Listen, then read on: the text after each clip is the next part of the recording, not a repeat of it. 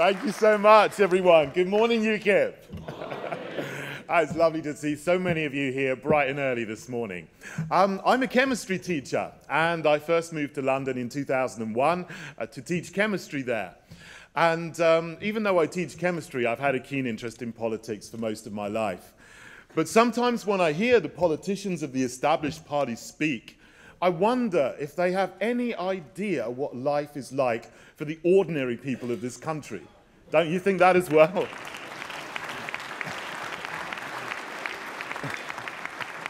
I wonder if they know what it's like to be a teacher or a nurse or a taxi driver or a small businessman earning a salary of 20,000 or 18,000 or 25,000 pounds a year stuck in their ivory tower in Westminster. And one of the things that we hear a lot about in the London campaign is housing. That's undoubtedly one of the biggest issues. And every mayoral hustings there is, and in the press every evening in London, you hear about the housing crisis all the time. And Peter has spoken a lot about that already. Um, but it's so bad, just to give you an idea of what it is actually like. If you want to buy a house, um, it's almost impossible now. I mean, this is the dream that people have in this country to be homeowners. And in London, you need a salary of about £60,000 just to get yourself a studio flat in Zone 6. And if you know London, you know Zone 6 is the edge of London on the very, very outskirts. And if you want to buy something in the centre of London, it's well nigh impossible unless you're a multi-millionaire. And I feel very, very sorry for young people even British young people coming out of university today who are graduates, who come to get their first job in London, bright-eyed and bushy-tailed, and they find that they can't even today get themselves a room in a flat share if you're on an average salary, which is what I could do in 2001 as a teacher. But many, many young people, British graduates with a degree, can only get themselves on their salary a room uh, sorry, a bed in a room share, not even a room in a flat share. Um, that's how bad the housing crisis is. It's dreadful. Um, not just housing is an issue, but as Peter mentioned earlier as well, many of our public services are overcrowded to the point of being bursting at the seams. And that's true of roads, trains, buses, tubes, primary schools, GP surgeries, and hospitals all bursting at the seams in London. And the reason is so, so simple. But the other parties, the political parties, don't even seem to be able to mention it, let alone talk about it. And that is simply the massive, massive increase in the population. And most of that is due to rapid mass immigration. No.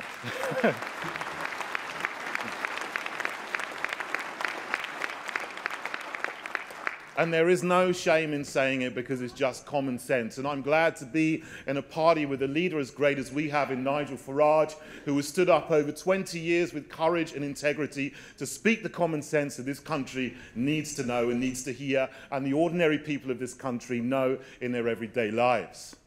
Oh.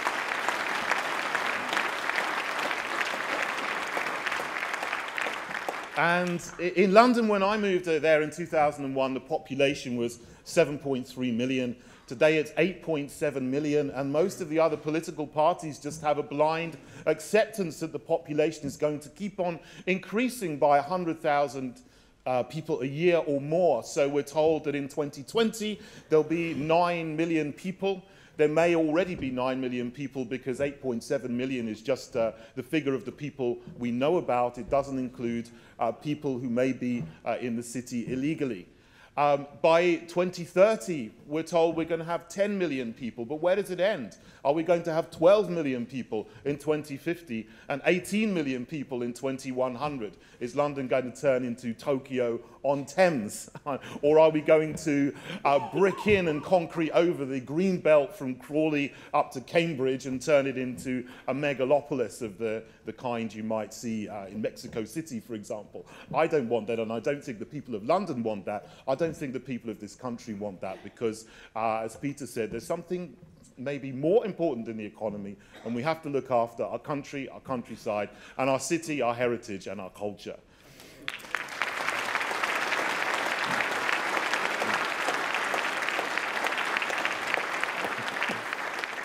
Now, when we we talk about the mayor and we talk about the, the Greater London Authority and the London Assembly, there are three things that they're responsible for. Uh, the first is police and crime, uh, then transport and fire and emergency services. We talk about many other things, but those are the three main things that the mayor and the Assembly have control over. Uh, and if I were a teacher giving the uh, mayors and assemblies of the past 16 years uh, a mark, I probably wouldn't give them an A. Uh, I might give them a C or a D for their attainment uh, and effort. Let's think about the police, for example. Um, the plan for policing, I think, is, is so bad, maybe uh, one of my students could do better in making up a plan for police and crime in London. Um, the plan is to cut crime by 20% by 2020. Okay, that's great, good, we want to cut crime. Uh, but the uh, mechanism to get there is to cut funding to the police by 20% as well, while the population is increasing by 100,000 a year. So uh, there'll be another 500,000 people in the city by 2020. It just doesn't add up. It's ridiculous. And the only way the Metropolitan Police has kept going is because they've had to sell off half of their police stations. So as well as trying to cut crime, uh, we don't have as many police stations as we had, and some of them that have been sold off have been the oldest historical police stations, which do have a place in our heritage. And I think it's a tragedy that that has happened. And uh, has it worked? No. it's not, of course it hasn't worked. Uh, even looking at the Metropolitan Police's own figures, uh, crime statistics in London have gone up by 4% over the last 12 months. Dreadful. In terms of transport as well, I don't give the Mayor and Assembly of the past full marks. What no one talks about is that um, the funding for London Transport, a lot of it comes from the central government, from the Department of Transport and the grant given to Transport for London is being cut in its entirety over the next three years. 650 million pounds, which we have this year, to put into subsidising the, the tube network and the buses, and they need doing that, is going. And the other parties talk about how they're going to cut fares and do all these nice things, but no one mentions that the budget is being cut. And you cannot look at these things in isolation. You have to look at the budget for our public services in relation to what goes on in the country as a whole. And I think people in London, as well as in the wider country, are fed up of seeing our public services, our essential public services, cut while we give 55 million pounds every single day to the European Union.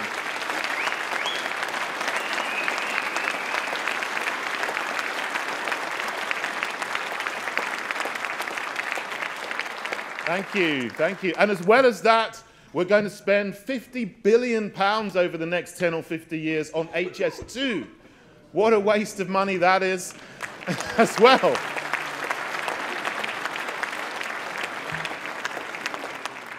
And the overseas development budget is ballooning out of control. I mean, four billion of that is well spent giving money to disaster emergency relief and paying for medical care and paying for water wells to really help the poorest of poor people in countries around the world. And I don't think any of us would begrudge that and would want that to be cut. But when we're spending seven or eight billion pounds in excess of that, and large amounts of that goes into the pockets of a new class of billionaire wind barons, and development consultants with large plush offices in Mayfair and third world dictators who stick the money in their pockets, don't help the people that it's supposed to go to, and it ends up in Swiss bank accounts rather than British taxpayers' money being spent in Britain. Isn't it dreadful?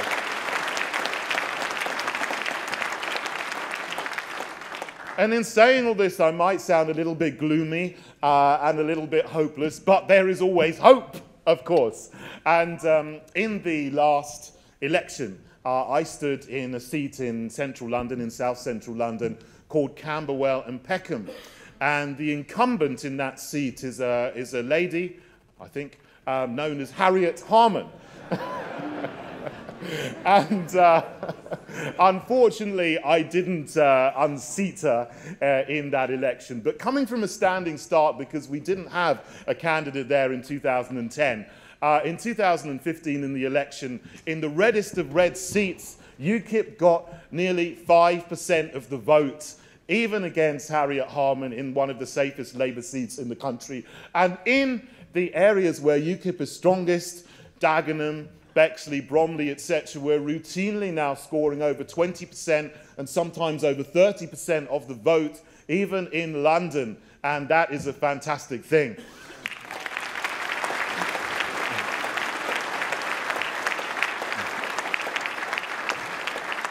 So, when it comes to the London Assembly elections, if any of you know anything about um, the London Assembly, there are 25 seats. And 14 of those seats are what we call super constituencies, and therefore on a first past the post basis. Uh, and then there are 11 seats which are London wide seats, and therefore on a proportional basis. And that means that with those top up seats, the percentage of votes that a party gets in London, providing they get over 5%, uh, will be proportional to the number of seats a party gets. And as Peter said, we are now polling in London 9 or 10%. So it will be almost inconceivable if the polls continue as they are that we don't have any representation on the London Assembly. And I want to see the beginning of UKIP having a permanent voice in the London Assembly to stand up for the ordinary people of London who are proud of their city and are tired of seeing their communities destroyed and dissolved and who don't want London to become just another irrelevant and demoralized provincial province in somewhere called the United States of Europe, but London to always be the capital city of Her Majesty's United Kingdom. Thank you very much. Thank you, UKIP.